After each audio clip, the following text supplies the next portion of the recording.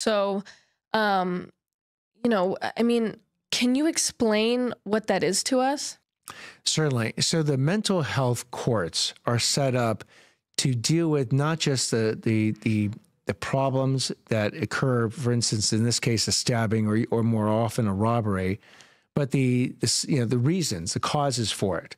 Uh, in this case, it sounds like you know serious mental illness the mental health courts don't get used in certain cases. In other words, if the if the case is violent enough, and I'm surprised that a stabbing case would actually get to mental health courts, um, then very often that that the that punishment won't fit the crime, because the mental health courts also don't have the ability to order someone into a lockdown mental health facility against their will.